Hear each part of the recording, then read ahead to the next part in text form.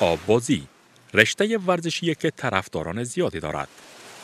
ملی پوچان آببازی کشور در چهار ماده کرال برست پروانه و یک کرال شنا می کنند و برای حریفانشان خط و نشان می کشند.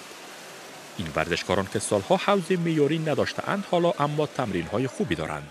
در تمام استایل های آببازی هم در کرال هم در برست هم در بترفلای و هم در بگ و در مسافت های مختلف که خوشبختانه در تمام کتگوری ها ما تونستیم چرای نخبه را جذب تیم های ملی بکنیم.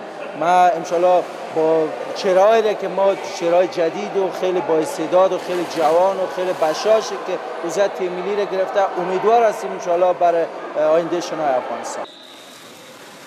کودکان هم که تازه گام های ابتدایی را در این رشته گذاشتهاند از هدف ها و آرزوهایشان می‌گویند.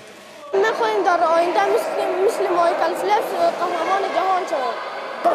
که تمرین وکم او نور او بازی وکم او قهرمان سم بسته جهان کې او د افغانستان بیرق بسته جهان کې جیب کما سنای هشت ساله هم یکی از این کودکان است که از دو سال پیش تمرین هایش را آغاز کرده او مستقیما زیر نظر رئیس فدراسیون شنا آموزش دیده و حالا مهارت های زیادی دارد.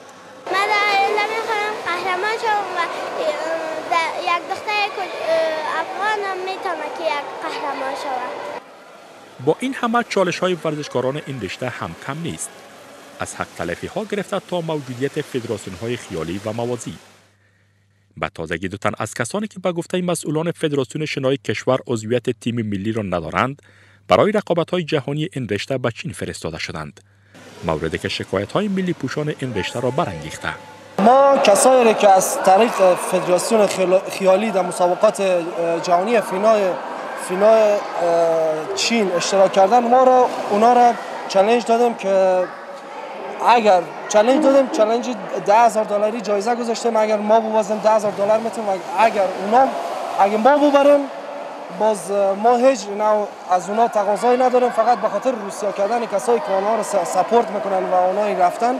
به خاطر از اون هستن تقاضای ما این است که از المپیک این است که در آینده اجازه نده همچون افراد به استعداد را که در مسابقات بیرون مرزی در نام تیم ملی شنای افغانستان اشتراک کنند. انتخابات فدراسیون آببازی کشور برای نخستین بار امسال در کابل برگزار شد که قاسم علی حمیدی با کسب اکثریت ها برای چهار سال به عنوان رئیس فدراسیون این رشته گماشته شد.